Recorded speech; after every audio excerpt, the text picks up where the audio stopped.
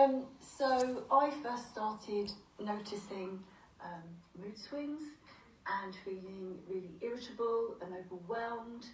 Um, my periods were beginning to be not as regular. I was used to be able to mark them out on the calendar, and then I noticed there was lots of differentials happening in terms of when I was actually coming on and how I was feeling. Um, I went to my GP. He decided that it would be good to do uh, blood tests. Came back to say that I was beginning to go into um, the menopause. So they thought to protect my bones, they would put me onto Femoston. This was in my early 40s. And then I stayed on Femoston, and, they, and the idea was I would go up to age 50 and then they would review the situation from that point. I then moved from Sussex to Wales five years ago in August, and when I landed here, um, I wasn't feeling great, and I went to see the GP here, and they suggested I go on to Tibolone. The transition from going from something that gave me a regular but artificial bleed over to something that did not was a bit harrowing in terms of my mood. Um, I was called the Tibolone Terror in my family because I'd become quite unhinged to the point that my daughter suggested I have a mental health assessment. Um, Tibolone worked for a little while, but I still noticed there was um, quite a lot of irritability and mood swings with it. But you know, I wasn't bleeding and I was functioning okay. My weight was fine. Everything was okay, um, was good. So then I started noticing I was getting hot flushes at night, and they reviewed the Tibolone situation, decided I might get more benefit from then going on to estrogen and progesterone separately.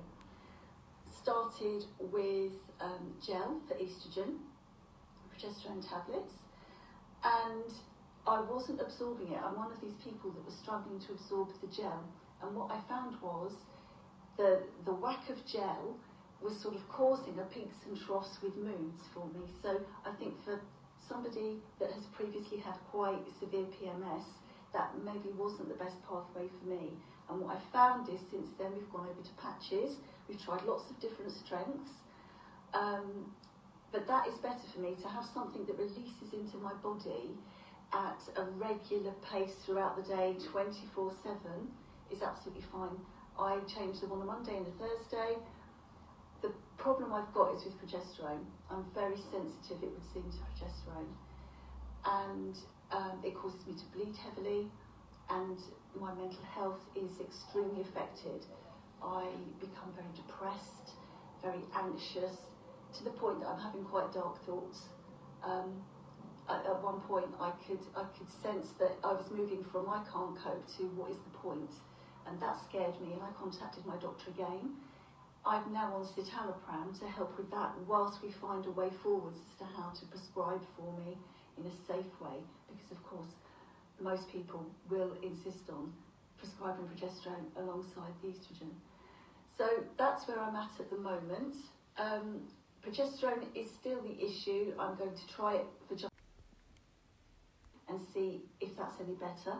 Where I go from that point, I have no idea but we'll see. I'm hoping with um, a collaborative approach with GP, maybe gynae consultant, we can look at a way that keeps me functioning really well, which I do. On just estrogen, life is dreamy.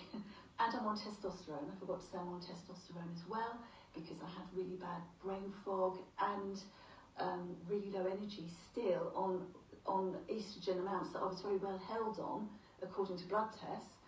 Um, they did tests to see if I had testosterone. I didn't have a trace. So I'm now on, on testosterone. I prefer the testing because that's daily. And what I'm on now is, I think, Testogel, and that's on every fourth day, which is not so great. It's not the same benefit somehow, but it's better than nothing, and I'm grateful. So, yeah, that's my journey so far. And I would say most people. I think I've been very lucky with the GPs that I've um, I've had the pleasure to cross paths with.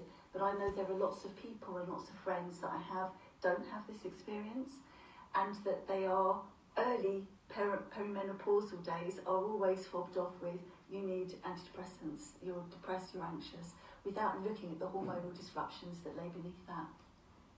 So that's me.